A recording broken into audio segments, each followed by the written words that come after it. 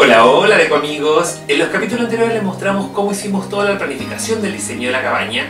Luego también les mostramos la construcción y en esta ocasión les vamos a hablar sobre las terminaciones.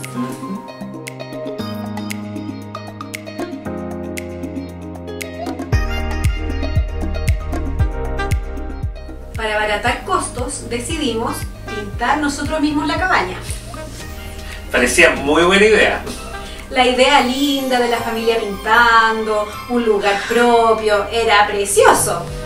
Pero empezamos a pintar un dormitorio, después el otro dormitorio, después la cocina, después el baño, después el techo y fue demasiado.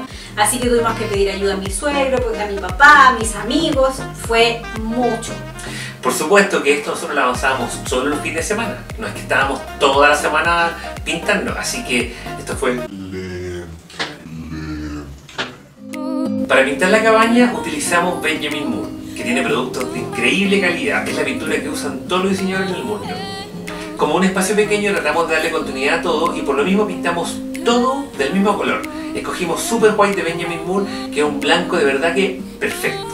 Para pintar, lo primero que hay que hacer es emparejar todas las superficies. Entonces tuvimos que llenar todos los hoyitos e imperfecciones con pasta muro. Y luego eso hay que lijarlo para que quede suave y desaparezcan completamente las imperfecciones. Después de eso, lo que hay que hacer es aplicar un imprimante para que la pintura se absorba mejor y quede más pareja.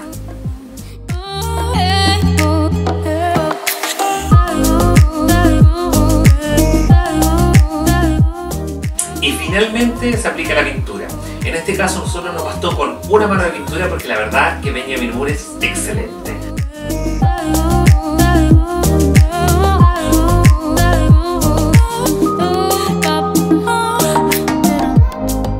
En esta preciosa idea de contribuir a la fabricación de nuestra linda cabaña, se nos ocurrió poner los sobremarcos de las puertas, de las ventanas, las cornisas,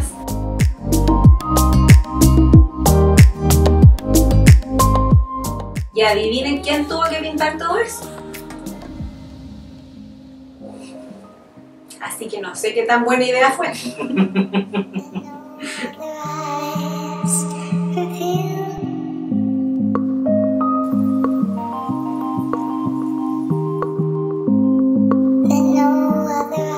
El plan de diseño era tener una cabaña completamente blanca por dentro. Ahora, el problema está en que tener piso blanco no es muy práctico, sobre todo por niños. Así es que me fui a Innova DSN a mirar las opciones de piso vinílico que tenían, porque quería algo que fuera súper aterrado, que pudiera resistir la humedad, que si se moja no le pase nada, así que el vinílico era la mejor opción de todas maneras. Encontré varias alternativas, así que pedí algunas muestras y las llevé a la cabaña para poder probar in situ y ver cuál funcionaba mejor. Finalmente escogimos este piso Clipper que tiene una veta grisácea que es mucho más fácil de mantener que un piso completamente blanco. Aún así sigue siendo bastante claro que es lo que nosotros queríamos, que se viera muy luminoso por todos lados. Después de la experiencia que tuvimos con la pintura decidimos que no podíamos seguir haciéndolo nosotros. Así que llamamos a la ayuda experta. En este caso le pedimos a Richard, nuestro maestro de toda la vida, que fuera para allá y nos ayudara a instalar el piso. Y de verdad lo hizo súper rápido. En un día le puso piso a todo. literalmente a todo, porque nosotros escogimos este tipo de piso que se puede ocupar en baño y en cocina. Sea, porque resiste muy bien la humedad. Así que lo aplicamos en toda la cabaña para poder darle continuidad. La verdad es que el baño y la cocina son muy chicos. Solamente de 2 metros cuadrados. Sí. Así que pensamos en un comienzo en poner cerámica para poder aislar de la humedad. El problema está en que aquí cada centímetro cuenta. Así que encontramos una alternativa súper buena que es simplísima. Simplísimas son planchas de fibrocemento que vienen impresas y tienen diseños muy choros. De hecho, el que escogimos fue muy lindo porque es como un papel mural y disimula manchas, tierra, y se instala súper fácil, se pega con adhesivo de montaje y se ponen cuatro tornillos arriba, cuatro tornillos abajo, los cuales después quedan tapados por el guardapolvo y las cornisas. Así que es la opción ideal si están construyendo un baño en una cocina nueva.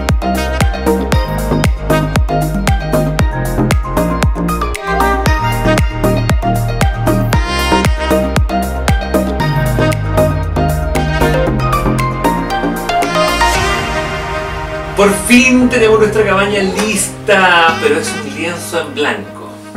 Así que no se pierdan el próximo capítulo porque vamos a mostrar la parte más deliciosa de todo el proyecto, la decoración.